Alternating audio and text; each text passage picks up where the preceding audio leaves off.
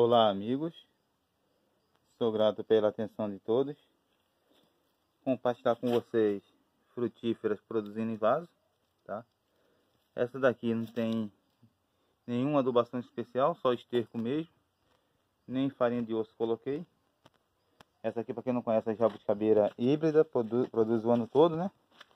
De fato, essa produz o ano todo, sem parar. Aqui tem uma outra que alguns falam que só produz. Olha que benção. Tá dando zoom aqui para ver se eu consigo captar. Legal. Olha o tronco como está. Ó, que maravilha. Essa aqui é uma sabará. Eu mesmo fiz mudas de, de semente. Ela começou a produzir com 8 anos. O bacana dela, olha lá, para todo lado tem frutos. Olha ali. Não dá para pegar legal. Tentar dar mais zoom aqui para ver. Vendo? Essa daqui tem fruto médio a grande, né? Tá tirando o zoom aqui. Tá mostrando aqui, eu tirando um fruto aqui para vocês.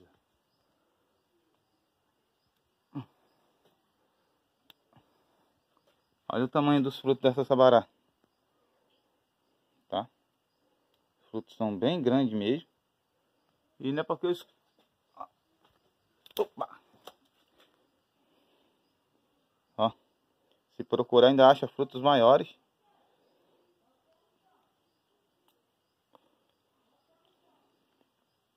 Muito suculenta, muito saborosa, de fato. Para mim, até hoje, é a jabuticaba mais saborosa. A maioria elege ela como a mais saborosa. Para você que não tem espaço, acha que não pode ter uma muda dessa produzindo, no chão, olha só o que eu fiz. Tudo isso aqui é calçado, Tá vendo? Fica entre aqui duas casas, ó. Praticamente não tem sol nenhum. Aqui tem uma parede de uma casa. Ali tem uma parede de outra casa, tá com a parreira caindo nas folhas todas, né? Que cai as folhas mesmo no inverno. E aqui tem a sabará. Essa daqui produz nas quatro estações do ano, tá? É, a última carga que ela deu, esse lado aqui agora está com flores. Foi o lado que produziu primeiro, eu cheguei a mostrar com bastante fruto, tá? Eu tenho visto é, vídeo aí no canal. Eu sempre registro para vocês aí a produção dessa sabará, até para estar tá provando, né? Alguns acham que ela não produz quatro vezes no ano. Essa minha aqui produz até mais do que quatro floradas. Só que nas quatro estações do ano ela tem fruto? Olha lá. Mas os frutos são grandes, pessoal. Pense numa jabuticaba sabará de frutos grandes, essa daqui. Uma muda que, como eu falei, né? Fiz de semente. Olha suas folhas. Tá? Suas folhas têm aproximadamente aí uns 3 centímetros. Então é isso, meus amigos. Num espaço aí muito pequeno, sempre estamos colhendo alguma coisa. Olha só. Pega aqui. Olha o tamanho desse aqui, ainda maior. Olha ele em comparação com os outros que eu peguei agora. Hum. Que delícia, pessoal.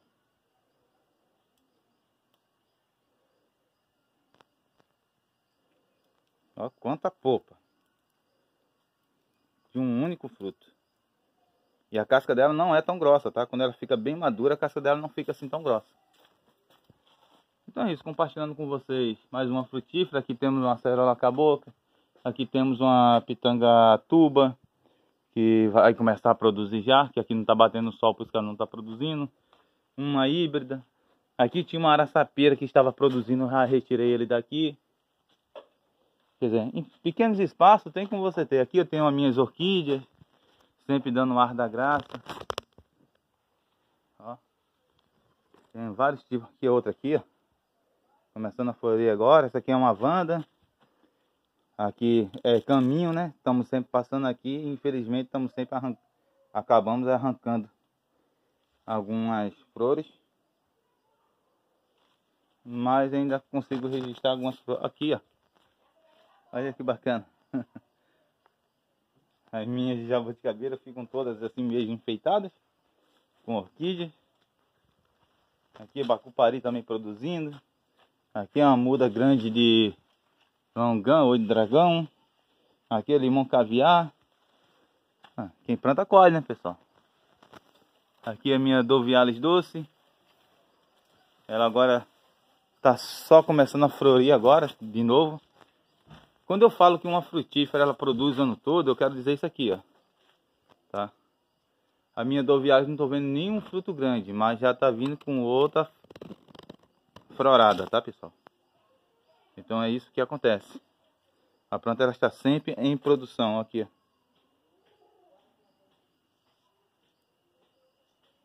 Tentar botar aqui assim. Isso aqui, ó. Sempre em produção. Em breve vai ser a vez das pitaias, né? Já mostrei aqui colhendo alguns frutos para vocês. O vídeo também já tá ficando um pouco cajá, manga não. Muitos frutos. Aqui tem uma mudinha de vamp escondida.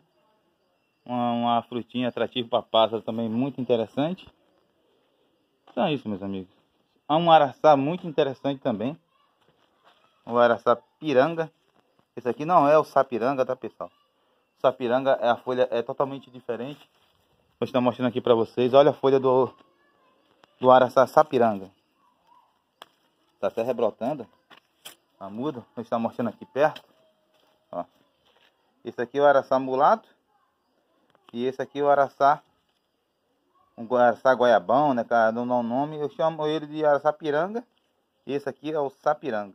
Totalmente diferente as folhas, apesar de terem um tamanho bem semelhante. A cor é um pouco diferente, né? Um é brilhosa, outro nem, nem tanto assim. Então é isso, o vídeo já está ficando muito longo. Sou grato pela atenção de todos. E agora vamos comer jabuticaba. Eita, que benção.